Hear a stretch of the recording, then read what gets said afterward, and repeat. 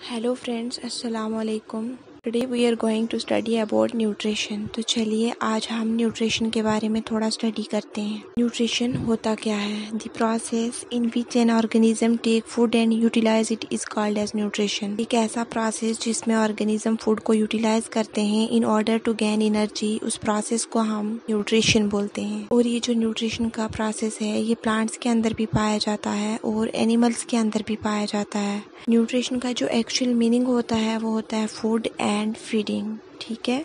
इसके बाद हम देखेंगे कि नीड ऑफ़ न्यूट्रिशन क्या होता है। नीड ऑफ़ न्यूट्रिशन क्या होता है? Organism need energy to perform various activities and this energy is supplied by the nutrients जितने भी ऑर्गेनिजम्स हैं एज वी नो दैट के सभी ऑर्गेनिजम्स को अल्टीमेटली एनर्जी की ज़रूरत होती है। जैसा कि हम कोई एग्जांपल ह्यूमंस की लेते हैं, हम न्यूज़पेपर रीड करते हैं, हम स्टडी करते हैं, हम कोई प्रॉब्लम सॉल्व करते हैं, वो हमारे ऊपर एक मेंटल स्ट्रेस पड़ता है। इसके अलावा हम घर का कोई काम करते हैं, हम खाना बनाते हैं, इन सब चीज़ों के लिए हमें एनर्जी की ज़रूरत है। ये सारी एक्टिविटीज़ एनर्जी की वजह से ही होती हैं। अगर हमें एनर्जी होगी तो ये सारी एक्टिविटीज़ परफॉर्म कर पाएँगे हम।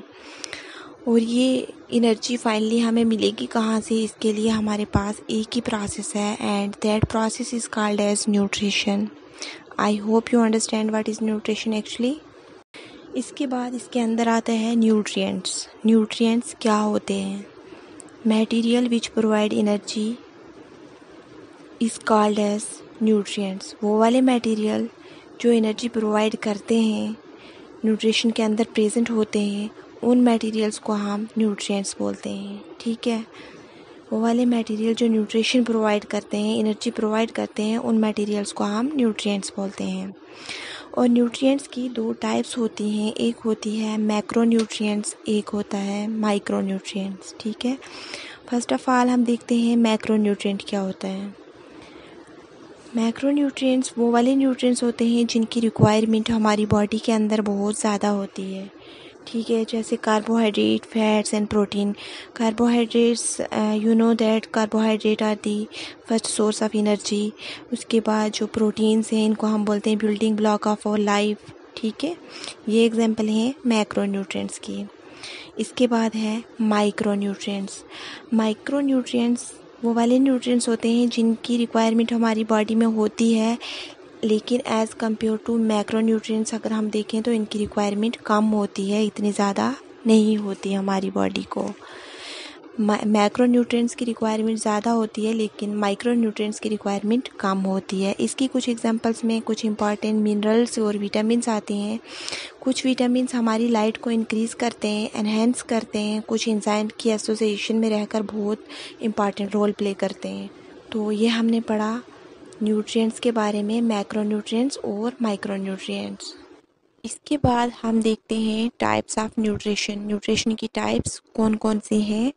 तो there are two types of nutrition autotrophic mode of nutrition and heterotropic mode of nutrition autotrophic mode of nutrition क्या होता है?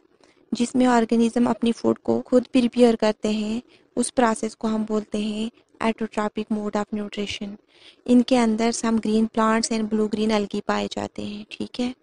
और जो एटोट्रॉपिक मोड ऑफ़ न्यूट्रिशन है, इसकी दो सब टाइप्स होती हैं आगे। एक होता है फ़ोटो एटोट्राप्स एक होता है कीमो एटोट्राप्स जो फ़ोटो एटोट्राप्स होते हैं, इनके अंदर लाइट का यूज़ होता है और इसके अंदर एक और चीज़ ज़रूरी है, वो ये है फोटान इनके अंदर फोटान का होना भी ज़रूरी होता है। वो जो कीमो एटोट्राप है, ये ऐसी सब टाइप है एटोट्रॉप्स की, जिनके अंदर एक केमिकल प्रोसेस होता है। फॉर एग्जांपल कुछ नाइट्रीफाइंग बैक्टीरियाज होते हैं जो एमोनिया को जब नाइट्रेट में कन्वर्ट करते हैं तो उस वक्त ये एनर्जी एक केमिकल प्रोसेस से तैयार होती है, ठीक है? और ये बात याद रखो कि जो फ़ोटो एटोट्रॉप है, उसमें फोटान का होना बहुत ज़रूरी है। उसके बाद दूसरी टाइप है हमारी न्यूट्रिशन की हेटीरोट्रॉपिक मोड ऑफ़ न्यूट्रिशन ठीक है?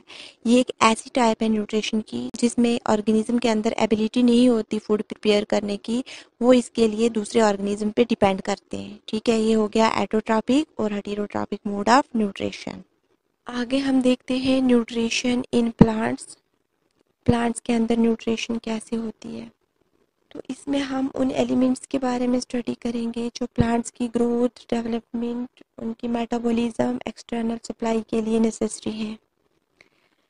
देखिए प्लांट न्यूट्रिशन की भी दो टाइप्स होती हैं। एक होती है एटोट्रापिक मोड ऑफ़ न्यूट्रिशन और दूसरी होती है हेटेरोट्रापिक मोड ऑफ़ न्यूट्रिशन तो आज हम पढ़ते हैं autotrophic mode of nutrition in plants ये एक ऐसी टाइप है प्लांट की जिसमें प्लांट अपनी फ़ूड खुद प्रिपेयर करते हैं with the help of sunlight और इसमें एक प्रोसेस होता है, उस प्रोसेस को हम बोलते हैं फोटोसिंथेसिस फोटोसिंथेसिस क्या होता है? ये एक ऐसा प्रोसेस है जो प्लांट्स और कुछ अदर ऑर्गेनिज्म के अंदर यूज़ होता है लाइट एनर्जी को केमिकल एनर्जी में कन्वर्ट करने के लिए। उसके बाद कुछ कंडीशंस होती हैं जो नेसेसरी होती हैं फोटोसिंथेसिस के लिए, जैसे सनलाइट वाटर कार्बन डाइऑक्साइड तो सनलाइट सन से मिलेगी वाटर मिलेगा प्लांट्स को थ्रू रूट्स और कार्बन डाइऑक्साइड एटमोसफेयर के अंदर इजीली अवेलेबल है तो वहीं से मिलेगी। इसके बाद हम देखते हैं how the plants are able to observe carbon dioxide मतलब प्लांट अपने अंदर कार्बन डाइऑक्साइड ऑब्जॉर्व कैसे करेंगे। देखिए प्लांट्स के लीव्स के अंदर स्मॉल पोर्स होते हैं, उनके अंदर स्टोमेटा होता है। And this stomata are always surrounded by two cells that cells are called as guard cells और फिर क्या होगा, जब वाटर रूट्स के थ्रू प्लांट के अंदर जाएगा तो वाटर फ्लो होगा, फिर वहाँ से वो गार्ड सेल्स के अंदर जाएगा। जब वाटर गार्ड सेल में पहुँचेगा तो गार्ड सेल्स स्वेल्व हो जाएँगे, फूल जाएँगे और स्टोमेटापोर ओपन हो जाएगा, और तब वहाँ पे क्या होगा कार्बन डाइऑक्साइड इंटर हो जाएगी। आगे हम देखते हैं how the process is complete and how the glucose is form हम देखते हैं कि ये प्रोसेस कंप्लीट कैसे होगा और ग्लूकोज कैसे बनेगा। तो इसमें सिक्स टाइम कार्बन डाइऑक्साइड और सिक्स टाइम वाटर जो है, इससे बनेगा ग्लूकोज जो सिक्स टाइम कार्बन डाइऑक्साइड और सिक्स टाइम वाटर है, ये ऑर्गेनिक मॉलिक्यूल्स हैं। और जो लास्ट में C six H twelve O six मतलब ग्लूकोज बनता है, ये इनऑर्गेनिक मॉलिक्यूल्स हैं। और ग्लूकोज बनाने के लिए सबसे पहले जो इंपॉर्टेंट चीज़ है वो है फोटान जब ग्लूकोज बनेगा कार्बन डाइऑक्साइड और वाटर की कन्वर्शन होगी ग्लूकोज में तो ये इन प्रेजेंस ऑफ़ फोटान होगा। और ये कैसे होगा? सबसे पहले थ्रू सन फोटान आएगा और वो वाटर के साथ मिलेगा। तब वाटर की स्प्लिटिंग होगी ब्रेक डाउन होगी और जो हाइड्रोजन है वो कार्बन डाइऑक्साइड के साथ कंबाइन हो जाएगा। तब कार्बन डाइऑक्साइड रिड्यूस हो जाएगी और वहाँ से एक एनर्जी निकलेगी।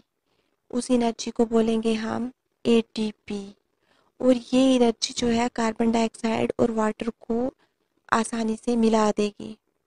फिर वहाँ से एक पावर निकलेगी and that power is called as assimilatory power और उसको हम लिखेंगे N A T P H plus H positive मतलब हुआ ये कि जब ब्रेक डाउन हुई वाटर की तो वहाँ से दो टाइप की एनर्जी निकली A T P and N A D P H ये वाली पावर निकली और फाइनली कार्बन डाइऑक्साइड की रिडक्शन होगी और वहाँ पे ग्लूकोज बन गया C six H twelve and O six इस तरह हमारा ये आज का टॉपिक कंप्लीट हो गया। Autotrophic mode of nutrition in plants तो मिलते हैं नेक्स्ट टॉपिक के साथ। इनशाला I hope you will like this video अल्लाह हाफिज़। अल्लाह ब्लेस यू ऑल